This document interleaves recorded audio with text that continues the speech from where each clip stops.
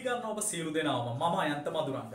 අද දවසේ මම ආවේ මුළු ලෝකයටම ප්‍රජාත්‍රන්තවාදය ගැන කතා කරන ඇමරිකා එක්සත් ජනපදයේ ඉතිහාසයට කළු පැල්ලමක් එකතු කරපු කැරල්ල ගැන කතා කරන්න මේ විදියට කැරලි කරුවන් විසින් පෙළබෙන්න හේතුව මොකක්ද මේකට බලපාපු ප්‍රධාන සාධකය මොකක්ද කිය ලොබත් එක්ක තොරතුරු බෙදාගන්න.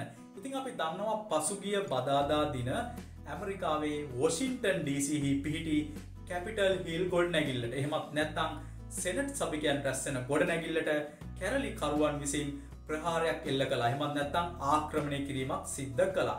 ඉතින් ඇමරිකාවගේ ප්‍රජාත්‍රන්තවාදය ගැන නිරන්තරයෙන් කතා කරන රටක මෙහෙම සිදුවීමක් සිදුවීම ඉතාමත්ම දුලබ සිදුවීමක්. එකට හේතුව තමයි ඇමරිකා එක්සත් ජනපදයෙන් මේ වනතෙක් කැපිටල් හිල් ගොඩනැගිල්ලට ඇමරිකානුවන් කිසිම අවස්ථාවක ආක්‍රමණයක් සිද්ධ කරල නෑ.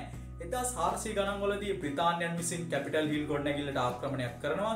එතන්දි කැපිටල් හිල් ගොඩනැගිල්ල සම්පූර්ණය විනාශ කරනවා. නමුත් ඉතිහාසයට අනුව කිසිදු අවස්ථාවක ඇමරිකානුවන් කැපිටල් හිල් ගොඩනැගිල්ලට මේ ආකාරය ආක්‍රමණයක් කරලනෑ ඉතින් මේ ආක්‍රමණය සිද්ධ වෙන අවස්ථාවේදී කැපිටල් හිල් ගොඩනැගිල්ලට බලෙන් ඇතුළුවෙන් උත්සා කරපු කාන්තාවකට පොලිසිය වෙඩි තබනවා යනවා මී යනවා. ඊට අමතරව තවත් තුන් දෙනෙක් මිය යනවලු මේ කැරල්ල සිද්ධ වෙන අවස්ථාවේ ඇතිවෙච්ච සිදුවීමත් ඒ අනුව හතර දෙනෙක් මිය ගියා කියලා තමයි විදේශ මාධ්‍ය තුළින් තොරතුරු ලැබෙන්නේ. ඉතින් ඇත්තටම දැන් මෙතන තියෙන ගැටලුව තමයි ප්‍රජාතන්ත්‍රවාදය ගැන ඉහලින් කතා කරන ඇමරිකානුවන් ඇයි මේ වගේ ආක්‍රමණයක් සිද්ධ කළේ කියන එක.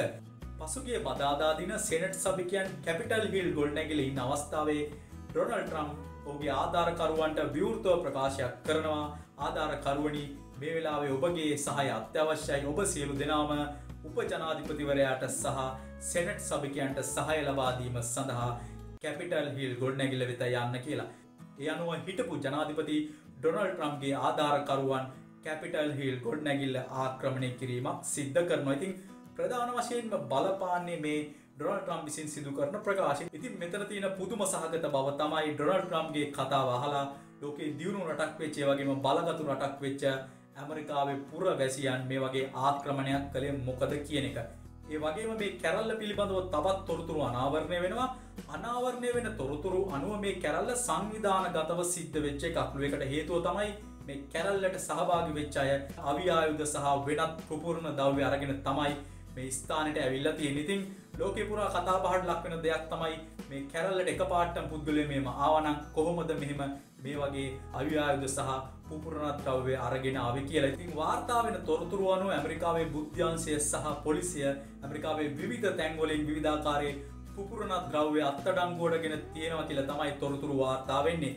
කෙසේ වෙතත් මේ කැරල්ල වරුණට පස්සේ නැවත ඩොනල් ට්‍රම් සමාජ මාධ්‍ය හරහාගේ ආධාර කරුව නමතනවා යන්න ඔවුන් කියනවා ප්‍රජාතන්තවාදයට මූලිකත්වය දෙන්න ඔබ ගෙදර යන්න කියලා. නමුත් එහෙම කියන ඩොරන්ටම් නැවත කියනවා මම මේ චන්ද ප්‍රතිඵලය පිළිගන්නේ නැහැ කියලා. ඉතින් නැවත නැවතත් ඔහු ඔහුගේ ආධාරකරුවන්ව පොළඹෝනවා ඔහුන් උසිගැන්වීමක් තමයි සිද්ධ කරන්නේ. ඉතින් මෙන්න මේ තොරතුරු තමයි අනාවරණය වෙන්නේ.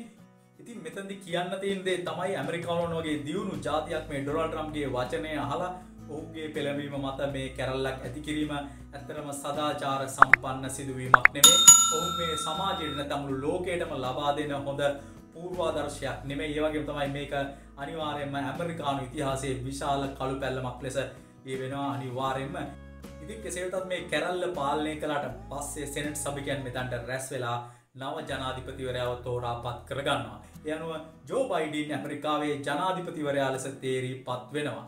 ඉතින් අවසාන වශයෙන් මේ සිදුවීම් පේනදේ තමයි ලෝකෙතින බලගතුම රාජ්‍යක ජනාධිපති වුණත් බලගතුම පුද්ගලෙක් වුණත් තමන්ගේ පෞද්ගලික මතවාදය හරහා මුළුමහත් රටක්ම මුළුමහත් රටක ජනතාවම අපහස්ථාවට පත් කරනවා විනාස කිරීමක් සිද්ධ කරනවා කියලා. ඉතින් රටක ජීවත්වෙන ජනතාවට චන්ද දායකයන්ට මේක හොඳ ආදර්ශයක් ඔල්ලුවට ගන්නවනම්. ඉතින් ආයි දවසක මේ වගේ අපූරු වීඩිය එක කරගෙන මුණගැහිමේ බලාපොරොත්තුවෙන් අදට මං ඔබේ සමුගන්නවා. ආයි දවස්ක මුණගැහෙමු අපේ චැනල එක සබස්ක්‍රයිබ් කරන නැතන් සබස්ක්‍රයිබ් කරන්න අපේ වීඩියෝස් ලයි කරන්න ෂයා කරන්න තමත කරන්න පායාලනේ පරිසමගන්න ගිල්ලෙන්න සුබදවසක් වේවා.